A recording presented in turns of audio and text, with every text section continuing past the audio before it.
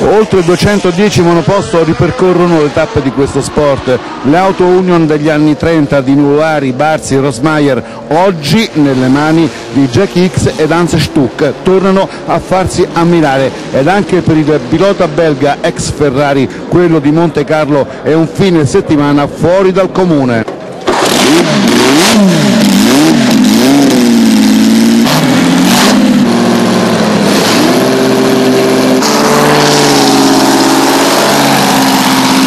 Cuore di essere qua con tanti tifosi di automobilismo, di corsa, è fantastico. Il Gran Premio storico è una cosa incredibile. Tutto come una volta, i gesti sono gli stessi di qualche decennio addietro, la passione si respira ad ogni passo, l'elenco dei marchi è irripetibile e sul fianco spiccano con orgoglio coloro che avevano esaltato. Il Principato è insomma per 48 ore l'autentica enciclopedia mondiale dell'automobilismo sportivo dove la sopraffina arte del controsterzo è premiata. Case ancora presenti ed altre che non esistono se non nel cuore degli appassionati. È il caso della Tecno di Bologna, leader ovunque sino al grande salto in Formula 1. Presenza fin troppo breve, toscano, grintoso, conosciuto negli anni 70, Nanni Galli riassapora le vibrazioni ed i rumori del periodo magico con la sua compagna di gara.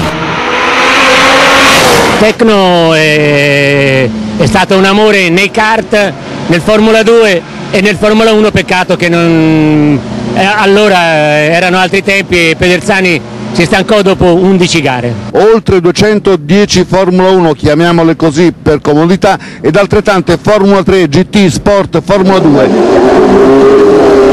Trasferta in chiaroscuro per gli italiani, salvo Emanuele Pirro che dopo aver dominato le prove della Formula 3 si è ripetuto anche in gara. Vittoria conquistata veramente in scioltezza con tanto rispetto sia per il circuito che per la macchina.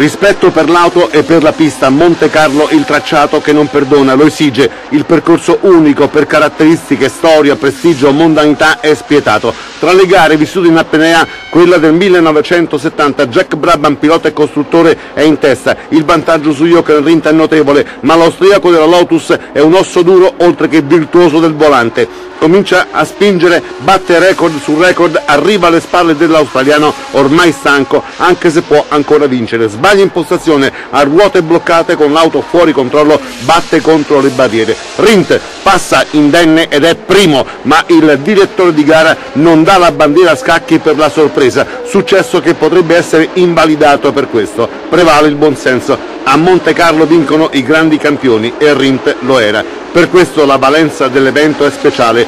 Il 1929 vuol dire una storia veramente, dove le Mercedes, le Auto Union, le Ferrari, le Lotus e altre eh, vetture hanno fatto l'istoria dell'automobilismo. Il patrimonio meccanico è una piccola grande fetta del progresso, denso anche di ricordi e del desiderio di tornare sul sedile della gioventù. Questo è stato un merito di Pedersani che aveva questa macchina in cantina, mi telefonò e disse guarda Nanni me l'hanno chiesta da un museo e io però avrei piacere che la macchina di rivederla in giro su qualche gara ma diciamo da gentleman driver e così è stato, ci abbiamo messo quattro anni per risistemarla e abbiamo praticamente eh, lavorato, sembra tanto, ma quattro anni per risistemare una macchina che era completamente in cantina, motore da una parte, sospensione da una parte,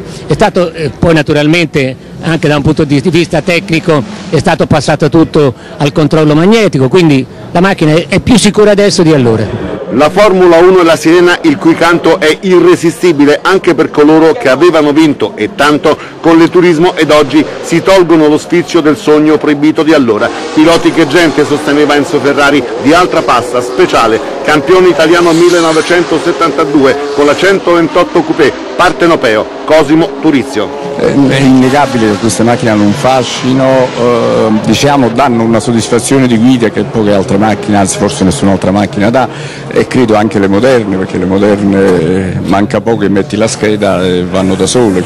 Verrebbe il desiderio di continuare ma il tempo è tiranno. La lucida analisi di Emanuele Pirro. Eh, queste sono giornate davvero particolari perché secondo me l'automobilismo adesso ha tutta questa popolarità perché le, le fondamenta del, dell'automobilismo sono nate negli anni 50, 60, 70 e queste sono le macchine che hanno veramente reso l'automobilismo così popolare come adesso. Ci abbiamo tutta, tutta la storia e per chi è appassionato è qualcosa di, di veramente emozionante e tutto questo parco macchine viene portato in un circuito che ha fatto la storia dell'automobilismo.